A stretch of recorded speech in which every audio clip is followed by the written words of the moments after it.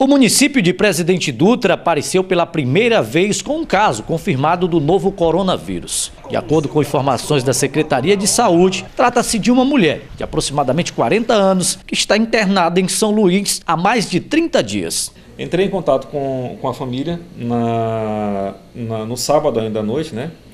E a gente descobriu que basicamente o, o contato que ela tem lá é o esposo e uma sobrinha e que há mais de 30 dias eles não vêm aqui.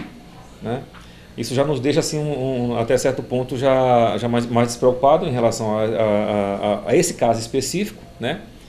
É, mas a gente não pode de maneira nenhuma baixar a guarda simplesmente porque o fato de que eles não, está, não, não estão aqui, que eles não são, não estão vindo para cá ultimamente, isso não quer dizer que a doença não esteja aqui, né? De acordo com informações do secretário do município, recentemente pelo menos três pessoas estão sendo acompanhadas com suspeitas do novo coronavírus. Né, a gente está hoje, só adiantando um pouquinho a situação, com três pacientes é, é, dentro do, do hospital com suspeita.